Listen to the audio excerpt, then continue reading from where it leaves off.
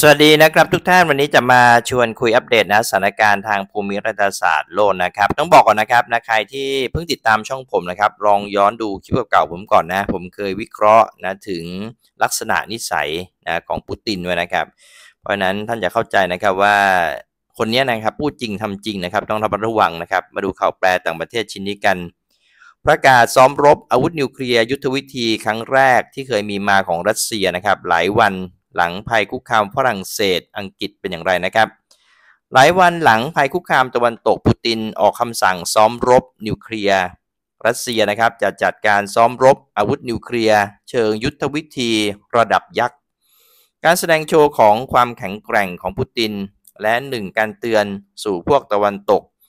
ประธานาธิบดีรัสเซียนะครับวลาดิเมียร์ปูตินได้ถูกรายงานว่าได้ออกคำสั่งการซ้อมรบอาวุธนิวเคลียร์หนึ่ง การซ้อมรบนี้นะครับจะจำลองเสมือนจริง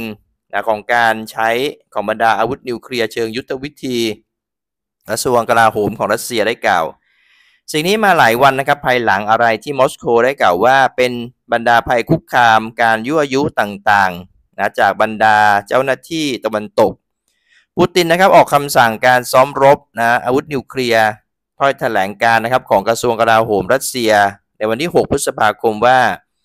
บนการแนะนำต่างๆ ของผู้บัญชาการสูงสุด โดยตำแหน่งของกองกำลังติดอาวุธของสหพันธรัฐรัสเซีย เพื่อที่จะเพิ่มความพร้อมของกองกำลังนิวเคลียร์ที่ไม่ใช่ยุทธศาสตร์ เพื่อที่จะบรรลุผลบรรดาพันธกิจการรบต่างๆ คณะนายพลนะครับได้เริ่มต้นเตรียมความพร้อมสำหรับการจัดการซ้อมรบต่างๆ ในอนาคตอันใกล้นี้ ด้วยบรรดารูปแบบขีปนาวุธของเขตทหารทางตอนใต้ ร่วมกับ ทางกองทัพอากาศ เช่นเดียวกันนะครับกับกองทัพเรือ ในช่วงระหว่างการซ้อมรบนั้นนะครับหนึ่งชุดของบรรดากิจกรรมต่างๆ จะได้ถูกนะครับดำเนินการเพื่อที่จะฝึกซ้อมความพร้อมนั้น และใช้อาวุธนิวเคลียร์ที่ไม่ใช่ยุทธศาสตร์ การซ้อมรบนั้นได้มุ่งหมายไปที่การคงรักษาความพร้อมของบุคลากร และอุปกรณ์ของบรรดาหน่วยต่างๆสำหรับการสู้รบ การใช้ของอาวุธนิวเคลียร์ที่ไม่ใช่ยุทธศาสตร์ ที่จะตอบโต้ และเพื่อที่จะสร้างความมั่นใจอย่างไม่มีเงื่อนไข บุรณภาพ และทิปไตยทางอาณาเขตของรัสเซีย เพื่อเป็นการตอบโต้ต่อบรรดาแถลงการและภัยคุกคามต่างๆ ที่ยั่วยุของบรรดาเจ้าหน้าที่ตะวันตก แต่ละปัจเจกบุคคล ต่อสหพันธรัฐ รัสเซีย มาโครงของฝรั่งเศสในวันที่ 2 พฤษภาคมได้กล่าวเป็นครั้งที่ 2 ว่า เขาจะไม่ขีดทับค่าทิ้ง การส่งทหารสู่ยูเครน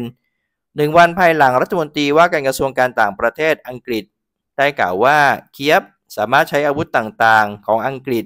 ที่จะโจมตีบรรดาเป้าหมายในรัสเซียได้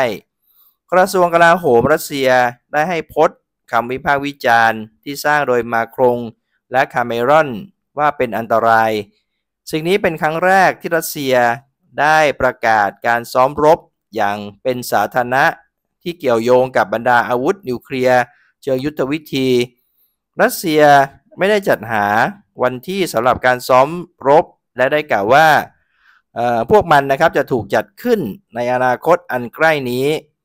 บรรดาผู้เชี่ยวชาญต่างๆ เชื่อว่าการประกาศนั้นสามารถถูกมองเห็นนะครับว่าเป็นหนึ่งคำเตือนสู่เหล่าพันธมิตรต่างๆ ของยูเครน มันเป็นสิ่งที่ถูกจดบันทึกไว้ว่า รัสเซียถือครองคลังแสงของบรรดาอาวุธนิวเคลียร์ ขนาดใหญ่ที่สุดของโลกนะครับเพราะฉะนั้นข่าวแปลต่างประเทศชิ้นนี้นะครับ ก็คือเกิดขึ้นนะเป็นการโต้ตอบนะคำพูดนะครับของมาครงนะครับของฝรั่งเศสที่พูดว่านะเขาไม่ได้ขีดทับค่าทิ้งในการส่งทหารสู่ยูเครนนะครับแล้วก็นายเดวิดคาเมรอนนะครับรัฐมนตรีว่าการกระทรวงการต่างประเทศของอังกฤษนะครับที่บอกว่า เคียบเนี่ยสามารถใช้อาวุธต่างๆ ที่อังกฤษจัดหาให้เนี่ยโจมตีใส่บรรดาเป้าหมายต่างๆในรัสเซียได้เลยนะครับทำให้รัสเซียบอกว่าคำกล่าวของสองท่านเนี่ยมันเป็นภัยคุกคามนะครับ เพราะนั้นรัสเซียจะบอกว่าดังนั้นประกาศเลยนะครับว่าจะซ้อมรบอาวุธนิวเคลียร์ที่ไม่ใช่ยุทธศาสตร์ ก็คือนิวเคลียร์เชิงยุทธวิธีนั่นเอง ในเวลาอันใกล้นี้นะครับเป็นคำเตือนนะครับเจอกันใหม่คลิปหน้าสวัสดีครับ